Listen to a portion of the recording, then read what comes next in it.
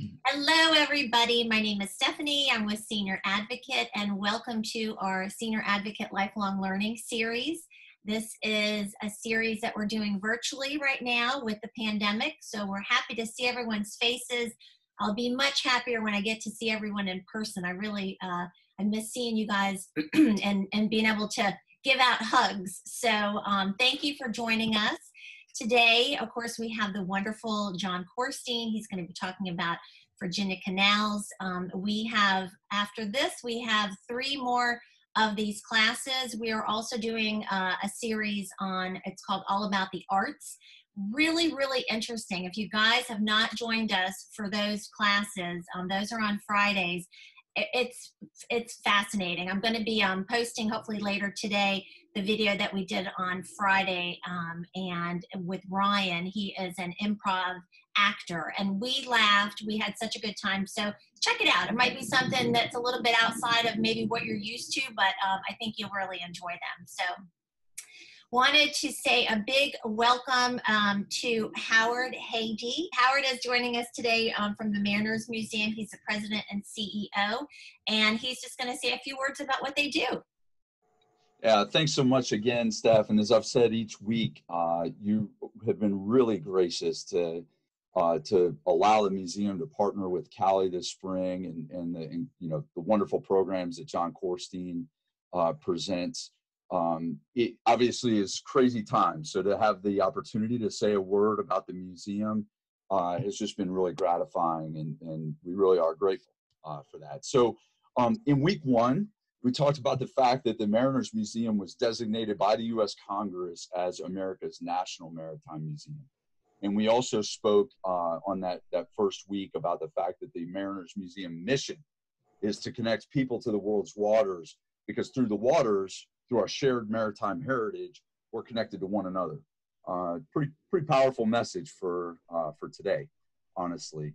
Um, and then last week, we talked about the fact that the conservation effort at the Mariners Museum and the USS Monitor Center is home to the world's largest conservation project of its type, the, the conservation of the USS Monitor. And uh, a lot of people don't, don't realize that. And this week, I thought I would share the fact that today, June 2nd, is the 90th anniversary of the uh, founding of the museum. The museum was incorporated on June 2nd of 1930.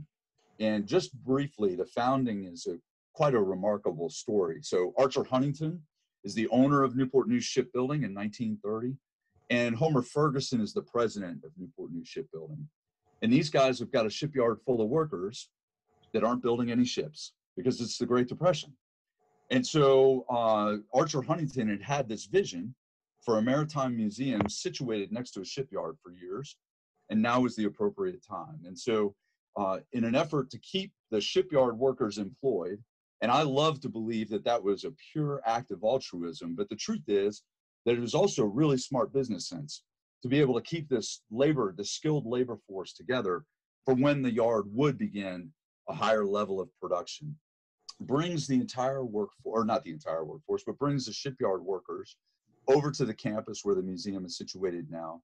They build Lions Bridge, which many of you know is one of the iconic spots on the entire peninsula uh, to dam Waters Creek and create the 167 acre Lake Maury and put them to work building the uh, museum. So now they've got a campus and they've got a building and not a thing to go in it. So Archer Huntington dispatches buyers all over the world and they're able to purchase objects, maritime objects for the collection at something close to pennies on the dollar uh, because of the Great Depression. And so that story um, really helps us to build an, a collection that is international in scope. Uh, these folks traveled in, all over Europe, uh, South America, Asia, up and down the eastern seaboard, compiling a collection that situates us absolutely uniquely among maritime museums in the world. And many of you that know maritime museums will know that most of them are focused on the specific geography in which they sit. Think South Street Seaport, New York. Think Mystic Seaport, Connecticut uh, we have this cap- this collection that supports our ability to talk about how we're connected uh, internationally, certainly how we're connected nationally, uh, and then obviously connected regionally through the water. so it's uh, it's an important day for us. Uh, I'm I'm grateful again for being able to share that story. And of course, one of the people that does a phenomenal job of elaborating even more on the leadership of that um, of that founding story and, and, why it ends up being almost baked in the DNA of the Huntingtons um, to do something like this is John Quarstein. And uh, I can't wait to hear the the program today. And, and with that, Steph, I'll throw it back over over to you. Sounds great. Thank you so much, Howard. Um, and I know you haven't really spoke about um, membership opportunities and things like that. I don't know if you just want to take a couple of minutes to tell about your different memberships. Yeah, thanks for that, Stephanie. So if you, um, uh, it, we really depend on our members, as we call them, our, our World of Champions. Um, and obviously, um, uh, this year in particular is a year that we're projecting, you know, pretty substantial reduction in our in our contributed revenue and our donations. And uh, I would really encourage anybody that is um, that is thinking about uh, wanting to support the work of the museum uh, to get on our website, and it's Mariners Museum, all one word, marinersmuseum.org.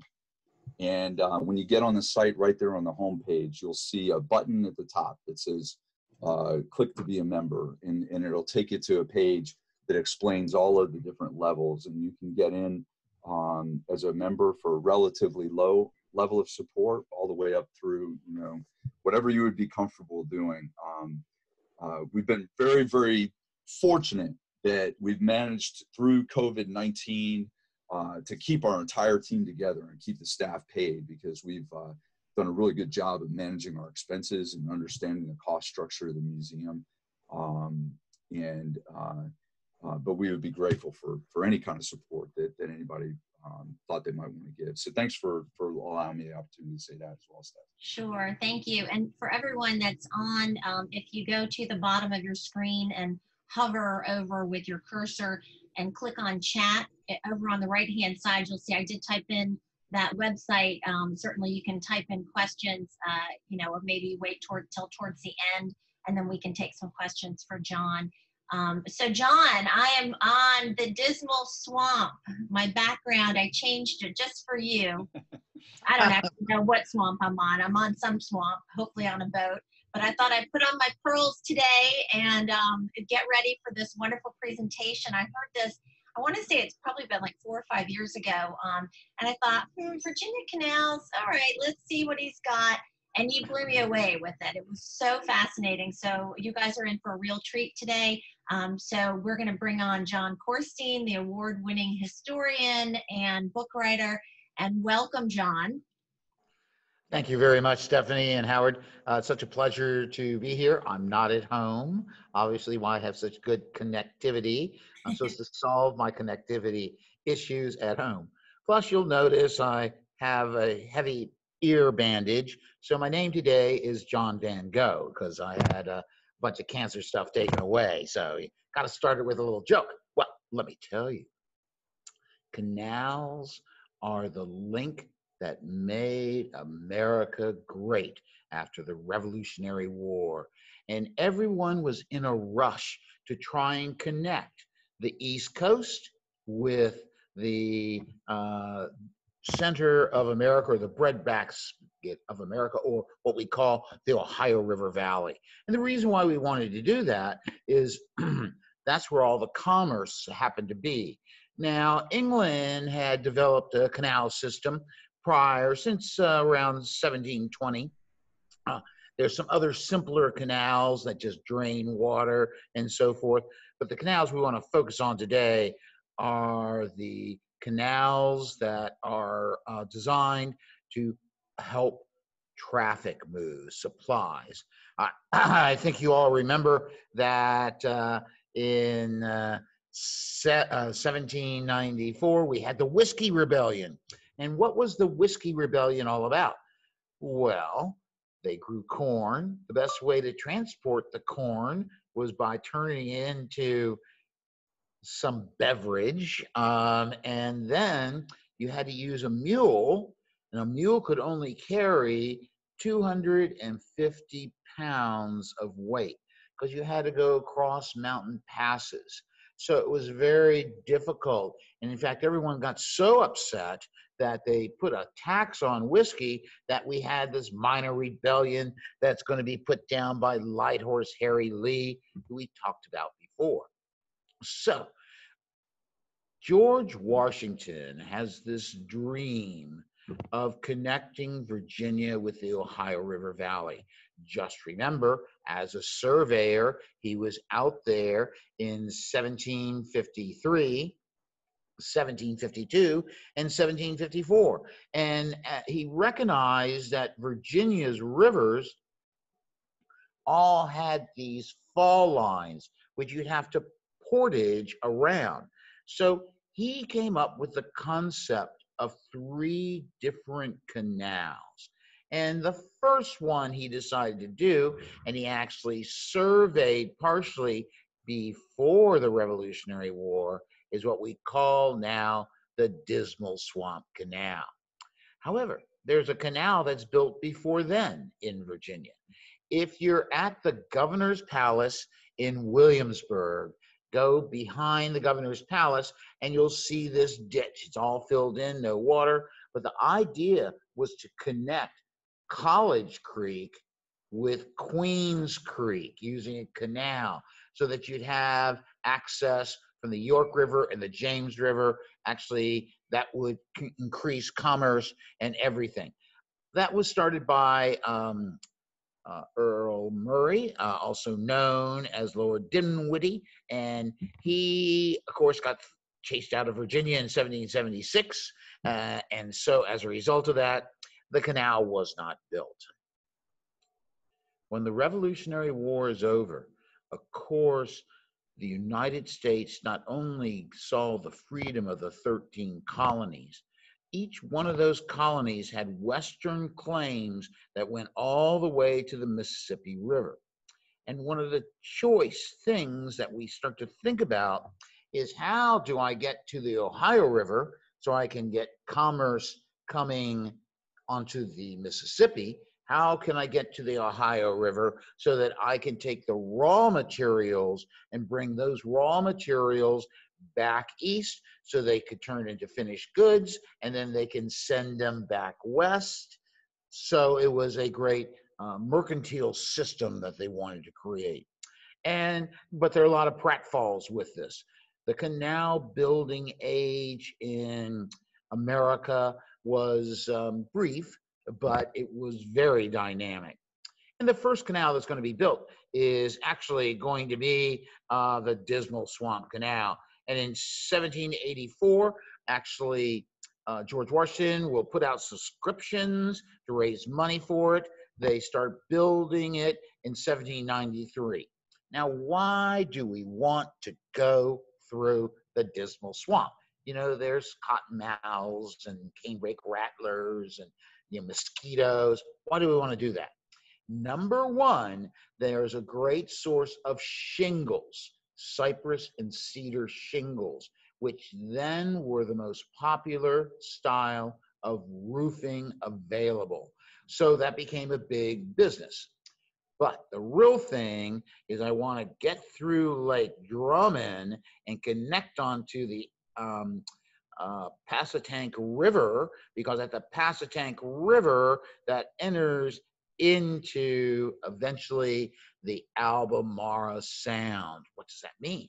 Well, the eastern North Carolina outside of Wilmington in that section, but we're all along the Outer Banks um, from the Virginia line all the way down to Beaufort, North Carolina they did not have deep enough inlets to handle the larger ships that had been constructed to carry goods. And this is a great ship design story because as we built the bigger ships, um, we developed new type of shipbuilding techniques.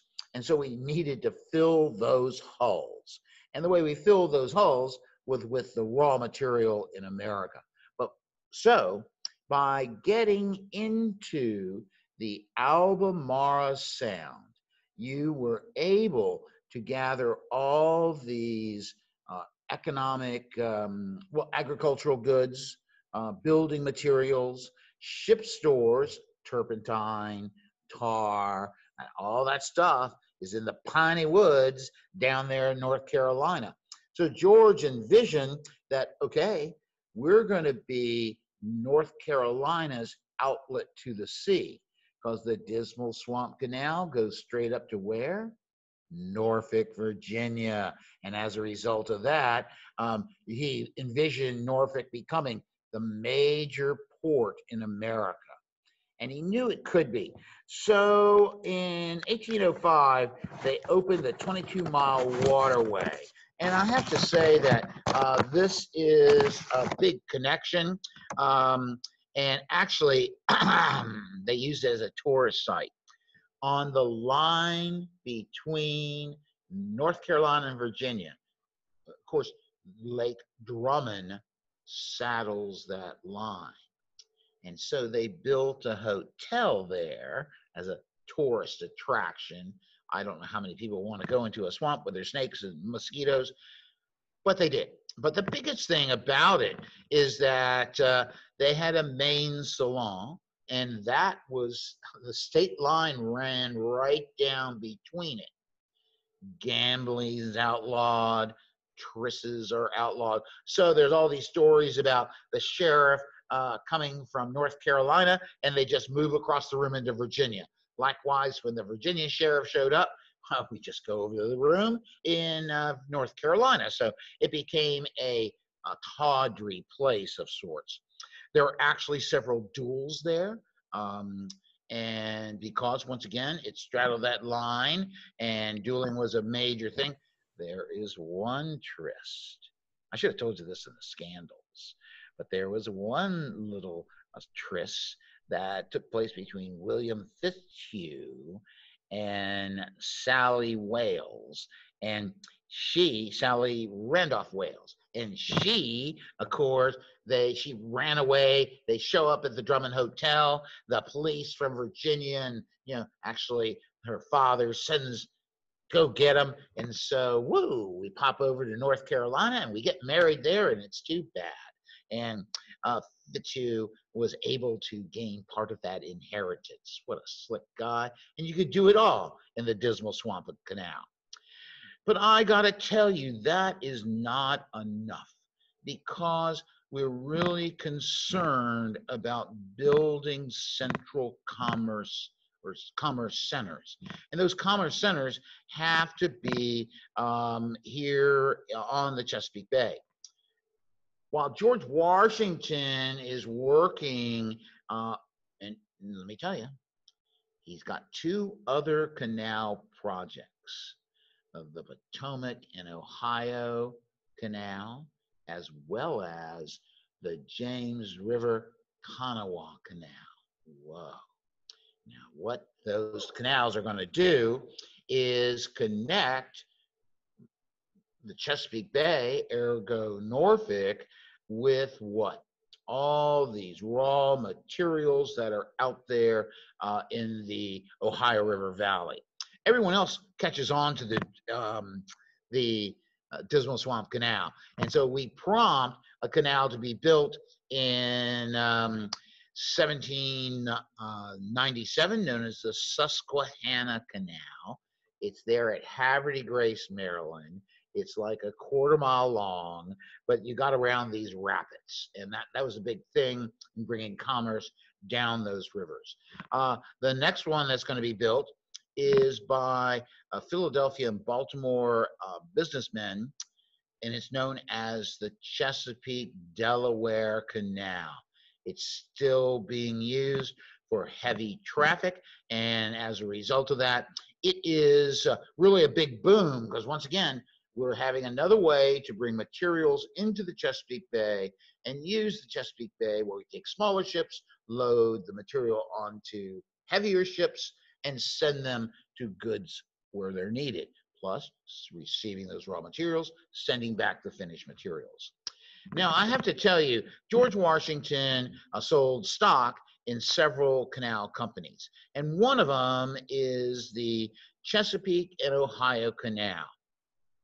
Now you go up beyond Georgetown, and especially as you reach towards uh, the Antietam battlefield, you can pick up parts of the original Chesapeake and Ohio Canal.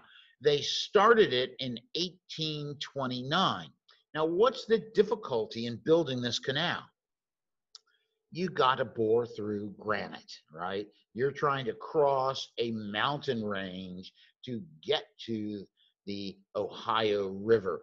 And it is too difficult to achieve. And so by 1850, the canal is bankrupt. Uh, you know, when Washington endowed various uh, colleges, and he did two Washington College in Chestertown, Maryland, and Washington Lee in Lexington. He gave them canal stock. So I hope they got the right type or sold it before it was wrong. So I got to tell you, um, just going from DC to Cumberland, Maryland, which is a rise of 650 feet, required 74 locks and an average of a rise of 8.2 feet per lock. There were 11 aqueducts um, to increase the streams, 20, 240 culverts, um, and uh, they used horses and towpaths to move the canals all the way up. Now, I got to tell you that uh, this canal is 184.5 miles long. Um, and it was originally based on the company that George Washington founded called the Potomac Company with a K at the end.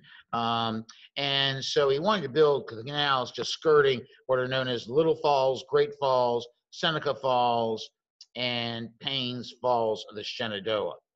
Uh, House Falls near Harper's Ferry you see what we're reaching towards more agricultural areas. Um, they plan to reach Pittsburgh, Pennsylvania, but that was 180 miles further to go, and there was just not enough of private capital. In fact, we have debates during the Monroe and uh, administration about having a national road, about having national canals that the federal budget would pay for. And of course, all the people up in New York and other places said, oh no, we don't want money going for a canal that's going to connect Virginia to Pennsylvania. We want our own in our own state. So that's what's going to happen uh, with the uh, um, what we call the Chesapeake or excuse me, Potomac and Ohio Canal. Now, actually, in building it, there are all these uh, right of way issues. And in 1824, a court case for the right of way between, at the point of the rocks, the Baltimore and Ohio Railway. And we, we got to recognize that these railways are going to put an end to this canal building time period. But nevertheless, uh, at the point of the rocks, the B&O said, we own that little area there. It's on an island. And, you know, the uh, Potomac uh, Canal said, oh, no, no, no, we own it. So there's this big court case. Guess what? The court case supporting the uh, Chesapeake Potomac Canal, or excuse me, the uh, um, Potomac and Ohio Canal, also called the Chesapeake and Ohio Canal, they were defended by Daniel Webster. That's how serious this agreement came. And the uh, uh, B&O Railroad was uh, represented by Roger Taney. And I think you all know about Roger Taney, brilliant lawyer, of course. He's going to fight against Daniel Webster. You have to be but he becomes Supreme Court Justice of the United States and will issue the Dred Scott decision. So let's just say that that decides in the um, behalf of the, uh, believe it or not, the the it's a compromise. So the railroad gets part and the canal gets part. They're supposed to share this. Now I got to tell you, how do you make canals pay for yourselves? with the um, canal going from the Potomac towards the Ohio River, uh, the fees were a ton per mile. Coal was rated at one fourth cent. Meat was rated at two cents. Spirits, oh my gosh, were rated at four cents. And salt was rated at one cent. So, you know, you see this traverse of raw materials, and then on the return, you'd be sending other type of finished goods, which also had a rate schedule.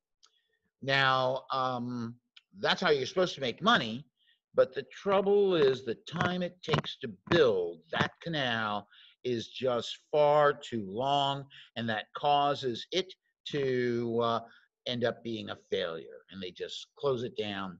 Now, Washington had another great idea, and I know you've all been to Richmond. And you know, right there at the Rocketts is where the falls of the James River happens to be.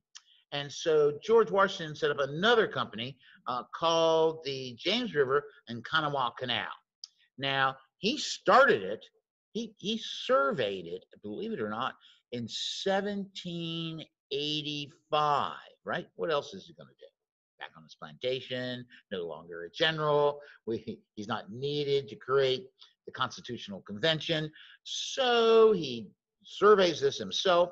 And uh, then he says that, well, we can connect the Ohio River Valley with Virginia ports to make Virginia an economic power horse. We have access to uh, the Eastern Continental Divide.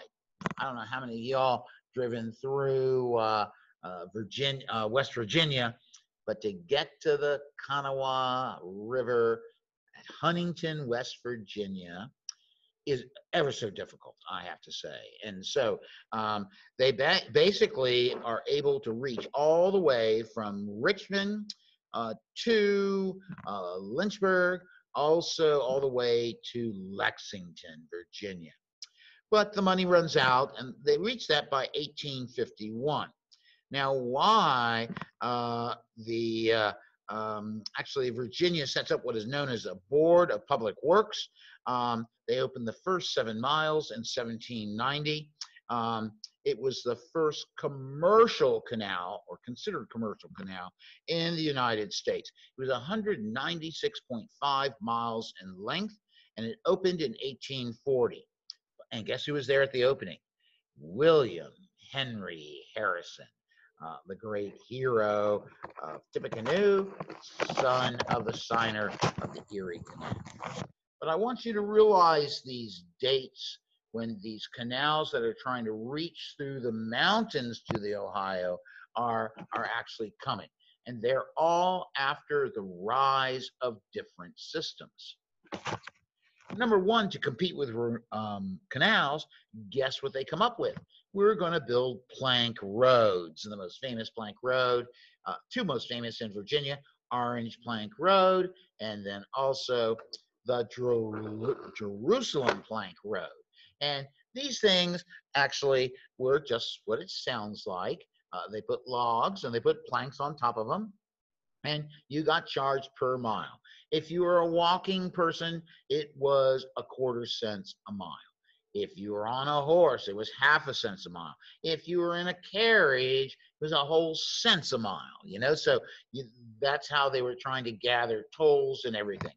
The plank roads are a huge failure. Now, Washington also planned what he thought was an important canal, which is known as the Cape Cod Canal, because he wanted to join Cape Cod Bay um, with Buzzards Bay, traversing the neck of Cape Cod. Um, but that was a great idea. It only had to be 17.5 miles.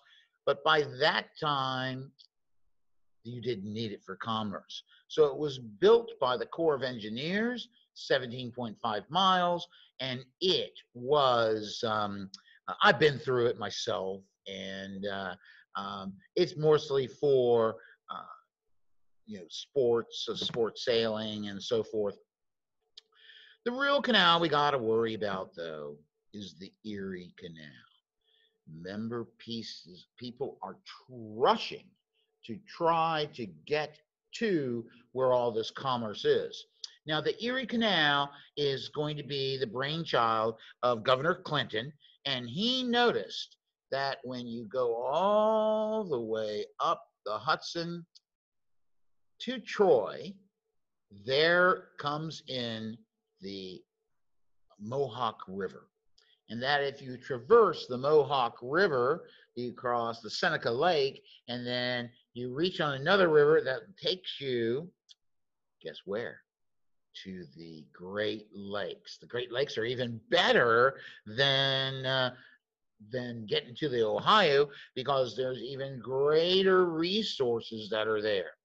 Now, everyone thought he was a joke, and as a result of that, um, he will uh, still push forward. Uh, the uh, Governor DeWitt Clinton um, will use state bonds, which is a big, terrible vote. We're using state money to build what we call Clinton's ditch.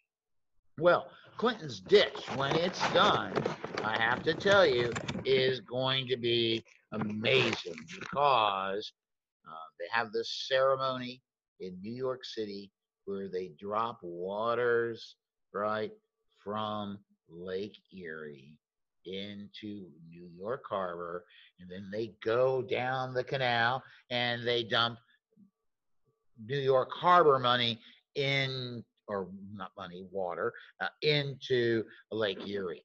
This is significant. It is the only canal that is going to effectively do what they wanted it to do link the great call uh, Ohio River Valley and the Great Lakes with a major port. Notice with the building of the Erie Canal, New York is not the leading port in America at that time. Actually, at one moment it was Philadelphia, but Philadelphia had all these yellow fever epidemics. So then, actually, Norfolk was rising in importance uh, because it was a deep water harbor and had connect had all these connections throughout the bay. But once the Erie Canal is finished, Norfolk is no longer to maintain a leadership, and New York becomes the commercial center of America. All because we have foreign goods that we can take out there, raw goods we can bring, send those back. The same old story. It was an, an economic powerhouse until what? Well, you have to realize the Baltimore and Ohio Railway goes all the way to the Kanawha River. And so the railroads that the boom begins in 1824 will actually supersede. They're easier to build, uh, they're faster to build, they're more efficient, more effective, and so that ends the rise of canals in America. But it was all started here in Virginia. Um, you know, uh, someone woke up one day and actually his name is Marshall Parks and said, "Why do we have to go through the Dismal Swamp Canal?" Uh, because you know the sound reaches all the way up and we can connect 14 mile ditch that takes us to the eastern branch of the um, Elizabeth River. And that creates the Chesapeake and Albemarle Canal which today the Dismal Swamp is still used. You have to have more shallow of a vessel uh, but the Chesapeake and Ohio Canal is a very, uh, Chesapeake, excuse me, and Albemarle Canal is very critical. I have been through every canal from here, or from actually Savannah, all the way up to Quebec. Uh, so I've been on the Erie Canal, St. Lawrence Seaway Canal, the Alligator River Canal. I mean, it's amazing how we figured out how to have protected waters for our commerce and connect America with itself. So that's my story about canals in Virginia. Um, And I think I went a little over. That's okay. Um, who has some questions? Yes, you can go ahead and type in your questions under the chat. Um, I have a question for you, John. Oh so, gosh. what is your favorite canal and why? Well, I'd like to say uh, the Dismal Swamp Canal because George built the first really working canal in America. And I like George and uh, I like North Carolina, I like Virginia. So it was actually a, a, a great concept. He just couldn't take it any further than that. So I think the one of the more enjoyable to do is actually the Erie Canal because they have uh, enough locks so that at first you're excited when you're going through a lock, and then all of a sudden you don't care because it's the same old thing. Um, but you do get to see great landscape. Uh, St. Lawrence Seaway, however, is the most impressive because it's built in the 1950s, remember? And so it can handle uh, how do you like to be on a little cruise boat, you know, that handles 80 people? And next to you is a big, big freighter that's 400 feet in length. You don't feel so good, do you? You know, and you're rising up at the same time. Uh, it's uh, it was pretty amazing. I like the St. Lawrence Seaway. I've been through the Cape Cod Canal, and if you're taking a nap, you can miss it. you know, that's pretty funny. The Alligator River one however, is not very well used, but it connects up to uh, the uh, um, Chesapeake in a uh, Albemarle Canal, gives a cut through uh, the shallow part of, I think that would be um, Pamlico Sound, and the, no one's there the wildlife is unbelievable um, because it's nothing. I mean, you see some boats run up the side, left to rot. Uh, it's a very scenic. I can't tell you. We couldn't count enough bald eagles, ospreys, hawks, other birds. Saw some alligators, and uh, so and not much traffic. So it's a nice cruise if you're on a sailboat or even a powerboat. Um, at, at the end of that canal, right at the way you enter the Chesapeake and Albemarle Canal, is a little town called Coinjock. Has everyone heard of Con- jock? Aha. Well, the funniest thing is, as you're going through these canals, they have little advertisements. The best prime rib in America and you know, with these passengers. We were being fed well anyway, and and I said, well, that can't be true.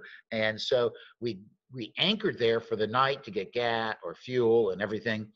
We went there, and oh my gosh, it was amazing. One of the best prime ribs I ever had. But you know, so I don't think you could go wrong taking an intercoastal waterway cruise, whether with your family or on a cruise boat um, it is fascinating because you really have a leisurely way because you can only go about 12 knots in some of these canals.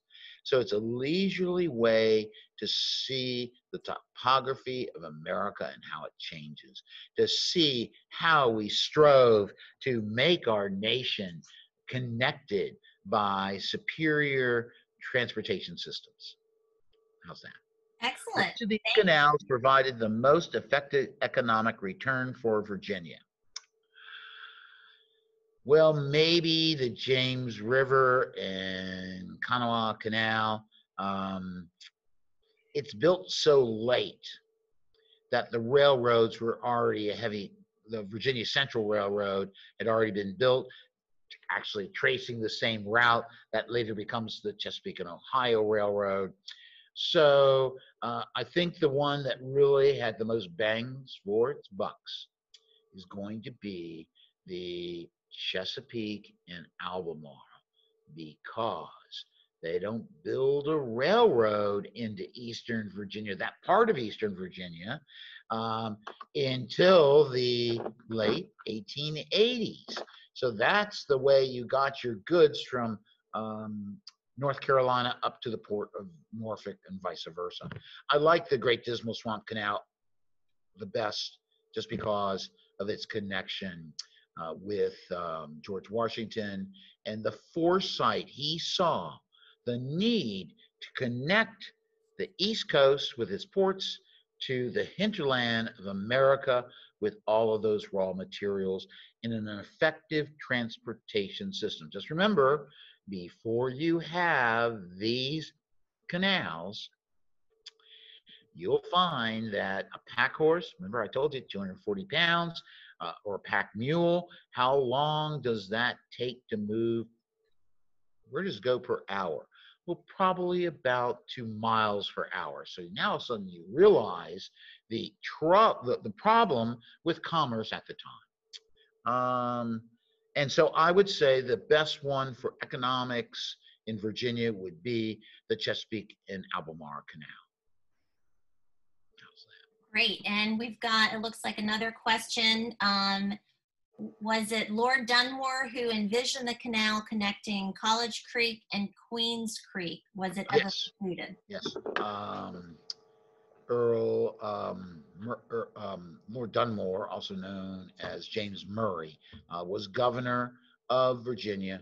And actually, you can still see parts of the traces of that canal, particularly if you go to the um, go to the uh, um, go at the governor's palace and look behind it, and you can see it. And uh, a great idea because you didn't need any locks. You just had to di- dig a deep canal, you know, because the peninsula, I guess you all live in the peninsula or in Norfolk, but the peninsula actually has a ridge. I know it's hard to see in Hampton, uh, but there is this ridge which is its fall line. All the rivers on one side flow into the York River, Chesapeake Bay, Hampton Roads. All the rivers on the other side flow into the James River, including College Creek. And so that was the concept. Um, uh, so um, it, it would have helped Williamsburg grow as a commercial center, excuse me, not just a political center. But you know, when Lord Dunmore got chased out of the colony, I don't think he's going to work on it anymore. So, you know, that's that. so, any other questions? What is the story on the Kempsville Canal system? Ah, glad you asked. Trying to use the Indian River to connect to the Lynnhaven River, which will take you right out to Lynnhaven Roads. And so, by getting to the Lynnhaven, this canal, you can still see traces of it, especially when you're going out and like you cross Indian River Road and a couple other spots. It was a failed project though, because it was too expensive. And by the time it really got going, it was superseded by the Chesapeake and Albemarle Canal. Um, that was well backed by brilliant engineer Marshall Parks, who also owned the Hygeia Hotel on uh, Fort Monroe. So he was um, uh, pretty effective, but the Kempsville Canal really never lived up to its promise. Anything else? We got another one that was emailed to me, a question. Um, they were questioning the extensive smuggling that was done on the Dismal Swamp Canal by the Confederates during the Civil War, even though the I guess it was controlled by federal forces. They wanted to know if you could just comment on Oh, let me tell you, this this this is really good because when Ben Butler becomes commander of the Department of Virginia, Eastern Virginia, and North Carolina, he knows that down in North Carolina, you got tobacco, you got cotton, you got all these other goods. And that he knew through his brother Andrew, and they did this in New Orleans as well. So Andrew uh, Andrew Butler was the official uh, cotton agent for the United States. So one bale of cotton for the Butler family and two bales for the United States. That's kind of how it worked. In this case, um, and every time uh, they weren't raiding plantations, they actually were trading medicines, um, other cloth, other material that was desperately needed in the South uh, for those items that, you know, um, Butler could buy cotton at two cents a pound US and sell it for 10 cents a pound in New York City. So, you know, that's the illicit trade. And it came really through because the Chesapeake and Ohio Canal is a very open canal, a large canal. And yet the Dismal Swamp Canal, you had many ways to get the material there. You could sneak through there. You could eventually get out uh, to uh, probably Great Bridge is where they had the transfer point from Confederates. And these were not formal Confederates. These were Carolinians and Virginians who supported the South. So all the goods they traded the cotton for, they then provided or sold to the Confederacy. Uh, so uh, it was, uh, but I can't say I've seen any record of, of weapons making that trip, but mostly critical medical supplies, blankets, shoes. Um, you know, uh, it takes a lot to put an army in the field. So you think of everything other than the gun and the cannons. That's what you got through that trade. Okay, I think last question uh, that was emailed to me. They wanted to know about the role the Dismal Swamp played during World War II when German submarines threatened shipping along the Atlantic coast. Well, the intercoastal waterway, um, the Dismal Swamp Canal did not play a major role as much, although the U.S. Navy actually had a uh, workshop, so did the Co- Coast Guard, in what's known as Elizabeth City.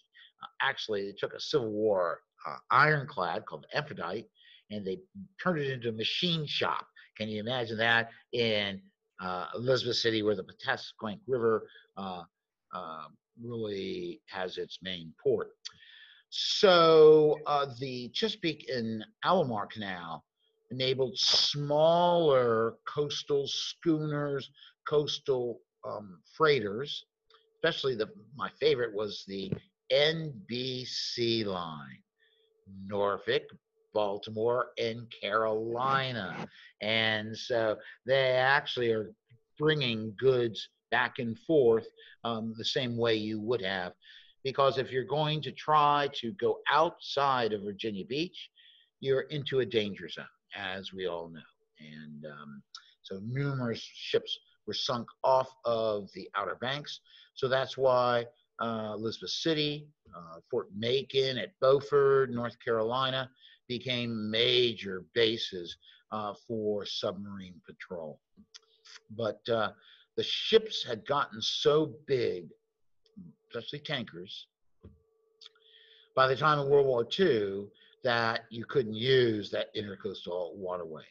Now it's mostly used by barges, commercial barges, and um, you know, uh, com- um, it, recreational uh, use. So, uh, uh, in fact, I was on the Alligator River Canal. I know that's real exciting, uh, but we saw one barge, and the whole time we were going down one commercial barge, every other ship we saw, and I've been down that canal about eight times. Yeah, I until this year, uh, for the past several years, I've worked as a lecturer on a cruise boat, believe it or not. you know, what a scam. Oh, no, it was what hard work. uh, but it was amazing just and that, that barge when it came down, I just, you know, everyone said, what? And so it was a fuel barge. So, um, you know, um, so that's that's my story. The canals I could spend five hours on because really we should look at it. There are different canals. Also, Richmond has the Tredegar Canal, which actually brings water down through a runway. So they work the water wheels of you know, the Tredegar Iron Works. Same thing happened uh, to uh, what we call Shockoe Slip.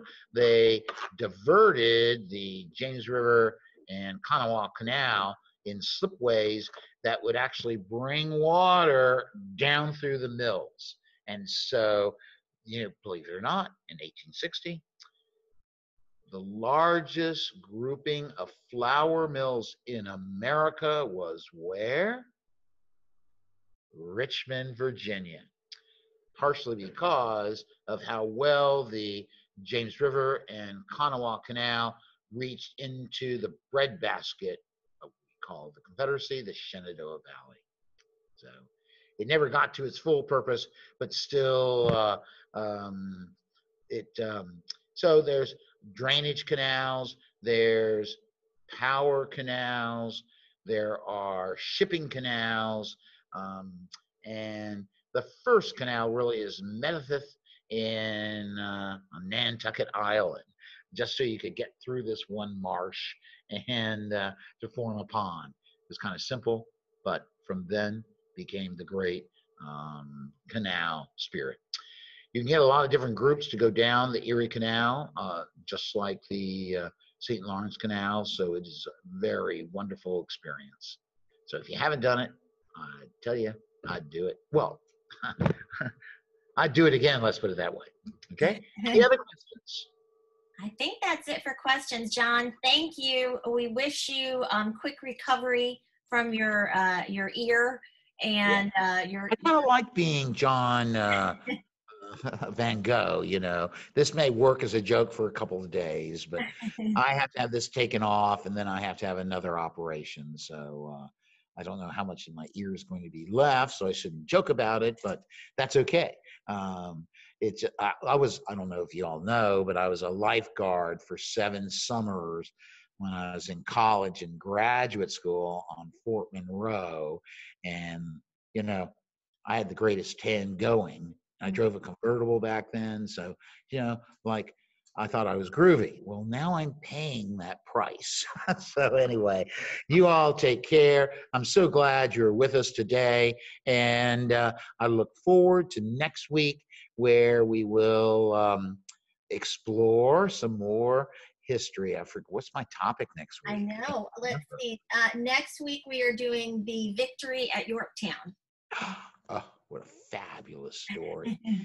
and Oh, you know, I should have five hours to do that one, but I'll try to make it good and sweet uh, because it is where our nation was founded.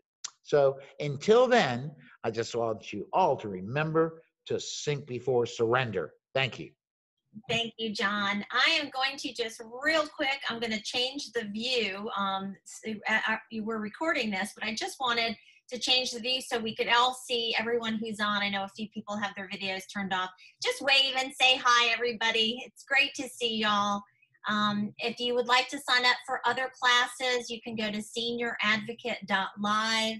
Um, you can always call us as well, 757-724-7001. Thanks again, everyone. John, great job as usual, and we'll look forward to seeing you all next week. Take care. Bye-bye.